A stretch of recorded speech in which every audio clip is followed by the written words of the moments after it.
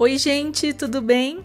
Eu sou a Natália e hoje quero compartilhar essas belezuras com vocês e também dividir algumas dicas de cultivo sobre elas, as petúnias.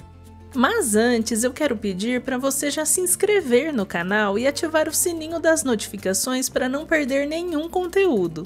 E desde já eu te agradeço muito.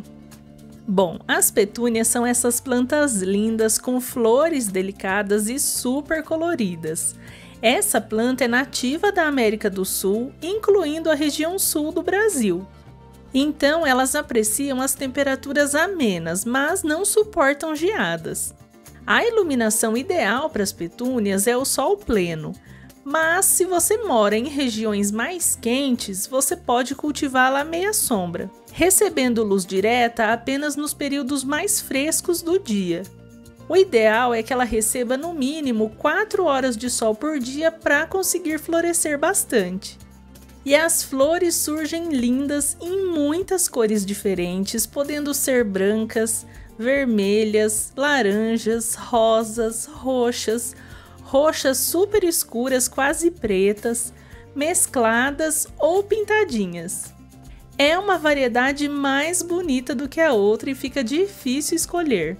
Elas possuem um pigmento chamado petunidina, que é uma antocianina e está presente em várias outras plantas, mas que ganhou esse nome por conta das petúnias. Os ramos da planta crescem em média 60 centímetros e ao final deles surgem os botõezinhos de flores, que vão crescendo, crescendo até abrirem nesse espetáculo de cor.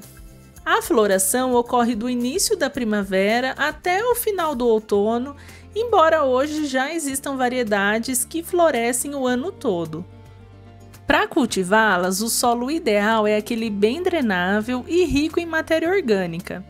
As petúnias apreciam um solo levemente úmido, mas jamais encharcado. O encharcamento do solo pode levar as raízes ao apodrecimento, bem como o excesso de água sobre a planta. Quando for regar, procure molhar apenas o solo, evitando as folhas e flores. Infelizmente, essa planta maravilhosa tem um ciclo de vida curto.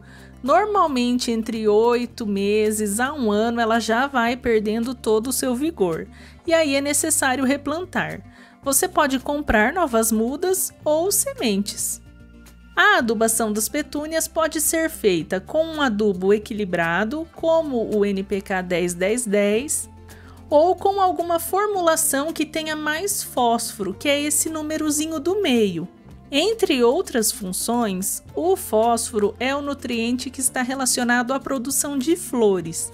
Aqui no canal tem um vídeo só sobre o NPK, sobre as funções do nitrogênio, do fósforo e do potássio. Ficou um vídeo bem explicadinho, então eu vou deixar o link aqui na descrição para você dar uma olhadinha lá depois. De vez em quando é necessário retirar alguma florzinha que já secou ou algum galho que está meio feio, mas lembre-se sempre de utilizar uma tesoura de poda bem limpinha e esterilizada.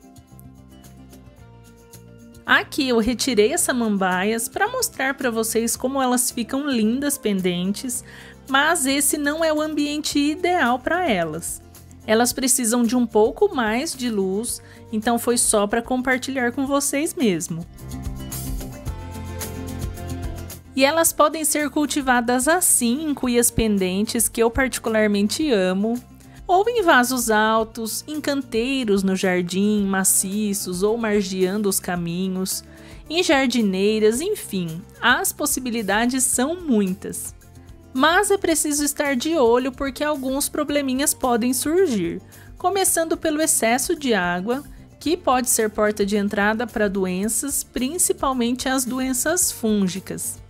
Além disso, elas podem sofrer ataques de pragas que vão atrapalhar o desenvolvimento delas. As pragas mais comuns nas petúnias são os pulgões, as moscas brancas, os ácaros e a larva minadora, que inclusive está aqui nessa planta e eu só observei agora que eu estou olhando de perto para ela. E para controlá-la, eu vou retirar essas folhas e aplicar um inseticida. Aqui no canal já tem alguns vídeos sobre controle de pragas e doenças com produtinhos naturais, vou deixar os links todos aqui embaixo. O importante é seguir corretamente a recomendação de cada produto e se lembrar de não pulverizar as flores. E aqui vai uma curiosidade: as petúnias pertencem à família Solanaceae, sendo parentes distantes do tomate, do pimentão, da batata e do tabaco. Inclusive, os indígenas faziam fumo com o tabaco e também com a petúnia. Na língua tupi, petum significa flor vermelha. E aí, gostou de conhecer mais sobre essa planta linda que enche o jardim de vida? Me conta qual é a sua preferida. Se gostou, deixe aqui o seu joinha, ele me ajuda muito e eu fico super grata.